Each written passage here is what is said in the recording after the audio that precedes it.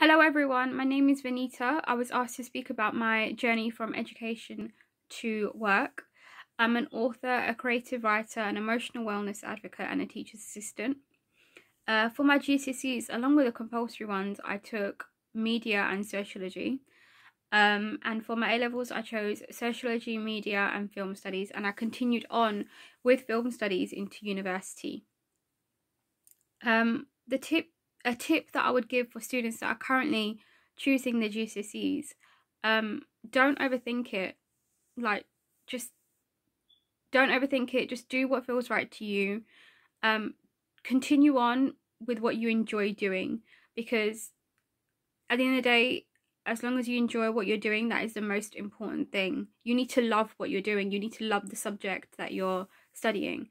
Um, and that's really important. So yeah, just do what feels right for you.